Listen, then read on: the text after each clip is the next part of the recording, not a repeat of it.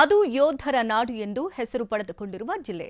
ಅಲ್ಲಿ ಒಂದು war museum ಆಗಲೇಬೇಕು ಅಂತ ಕಳೆದ ಹದಿನೈದು ದಿನಗಳಿಂದ ಸೇನಾಧಿಕಾರಿಗಳು ಕನಸು ಕಂಡಿದ್ರು. ಇದೀಗ ಆ ಕನಸು ನನಸಾಗುವ ಕಾಲ ಹತ್ತಿರ ಬಂದಿದೆ.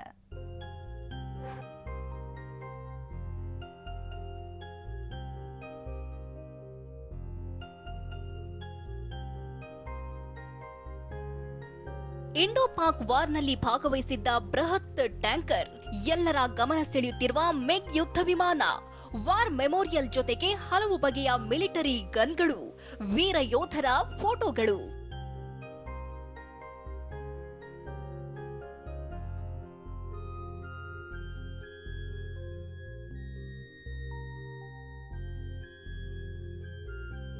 ಈ ರೋಮಾಂಚನಕಾರಿಯಾದ ದೃಶ್ಯಕ್ಕೆ ಸಾಕ್ಷಿಯಾಗಿರೋದು ಮಂಜಿನ ನಗರಿ ಮಡಿಕೇರಿಯಲ್ಲಿ.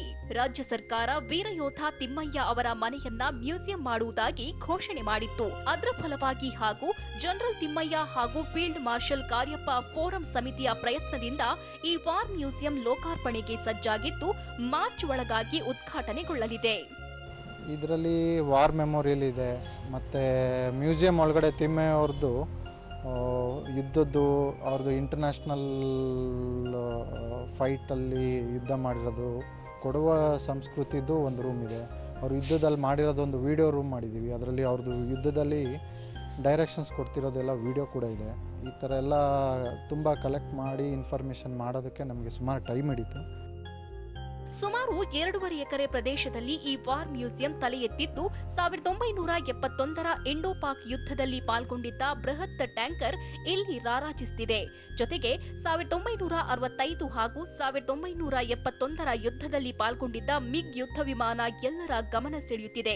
ಮನೆಯೊಳಗೆ ಹೋದ್ರೆ ಅಲ್ಲಿ ಜನರಲ್ ತಿಮ್ಮಯ್ಯ ಅವರ ಹಳೆಯ ಫೋಟೋಗಳು, ಅವರ ಬಟ್ಟೆಗಳು, ಯುದ್ಧದಲ್ಲಿ ಬಳಕೆ ಮಾಡ್ತಿದ್ದ ಹಲವು ಬಂದೂಕು ಹೀಗೆ ಹತ್ತು ಹಲವು ಯುದ್ಧ ಪರಿಕರಗಳನ್ನ ಕಾಣಬಹುದು. ಮೇಲೆ ಜನರಲ್ ತಿಮ್ಮಯ್ಯನವರು ಸಹ ಜನರಲ್ ಆಗಿದ್ರು.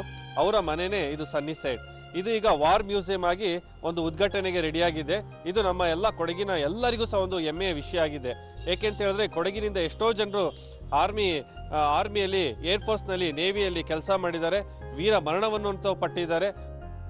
ಒಟ್ನಲ್ಲಿ ಜನರಲ್ ತಿಮ್ಮಯ್ಯ ಅವರಿಗೆ ಸಂಬಂಧಿಸಿದಂತೆ ಹಾಗೂ ಭಾರತ ದೇಶದ ಮಿಲಿಟರಿಗೆ ಸಂಬಂಧಿಸಿದಂತೆ ಹಲವು ಮಾಹಿತಿಗಳು ಇಲ್ಲಿ ಯುವಕರಿಗೆ ಲಭ್ಯವಾಗಲಿದೆ. ಭವಿಷ್ಯದಲ್ಲಿ ಮತ್ತಷ್ಟು ಯುವಕರು ಸೇನೆಗೆ ಸೇರ್ಬೇಕೆಂಬ ಕನಸಿನಿಂದ ಈ ವಾರ್ ಮ್ಯೂಸಿಯಂ ಸ್ಥಾಪನೆಯಾಗಿರುವುದು ಯೋಧರ ನಾಡಿನ ಗೌರವವನ್ನ ಮತ್ತಷ್ಟು ಹೆಚ್ಚಿಸಿದೆ. Suresh, TV nine, Madikeri.